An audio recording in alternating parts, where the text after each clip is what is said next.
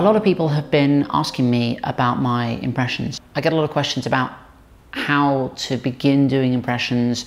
This is going to be a three-part series. If this helps anyone out there, then that's that's great. And also, I want to point out this is this is only my way of doing it. There are probably as many different ways out there as there are people who do impressions. So bear that in mind. It might not work for you. It might well work for you. Um, but this is this is how I do it. So how to do impressions. I think the first thing to know is that it doesn't just start automatically. You can't just leap in there and, and do De Niro or, or Walken. It takes a, a bit of um, a bit of work. That's that's certainly certainly what I've discovered. The first thing you want to do is you want to decide who you want to do uh, an impression of. So let's say I wanted to do an impression of Colin Firth. Um, I want to do an impression of Colin Firth. How do I begin? Well, do I start by listening to everything Colin Firth's done, watching everything he's ever done? Uh, that's one way to begin. Might be some people's way. That's not my way. What I do um, is I would just the first thing I do is, is take Colin inside of me and sort of ease him in.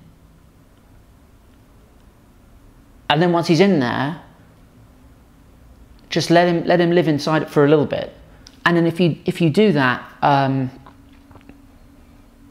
you'll start to to feel like Colin. Um, I mean, I don't mean that in a, in a, fit, in a fit, you're not going to be saying the same things as him. You're not going to be you're not going to be ordering the same coffee as him. But you might find uh, that when you get the coffee uh, from Starbucks, that the barista might say, "Here's your coffee," and, and, you go, "Thanks." But that's the sort of thing that Colin would have done. So. Just those little things. You let you let them live inside of you for a little while, and then what you do is you kind of um, you sit sit down on your couch, and you begin to not even not even you're not even using your vocal cords. You'll notice that we're not even going to get that to that yet. But what you do is you just think of things that Colin Firth would. Well, how would he look around the room? I'll do it. I'll do it for you now. This is uh, this is this is Colin.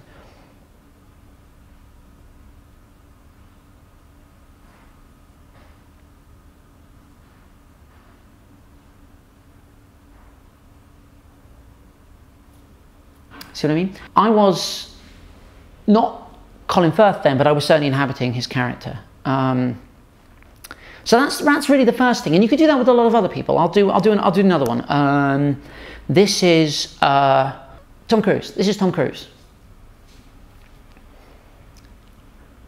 Sorry, it takes me a little while to get. Hang on.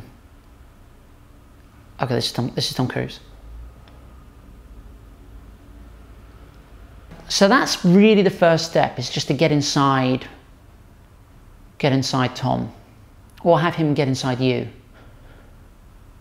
One thing you don't want to do is to have both Tom and Colin in, inside of you at the same time because that can be difficult. Um, uncomfortable is, is the way um, I put it. That's just my way uh, of beginning to do uh, impressions.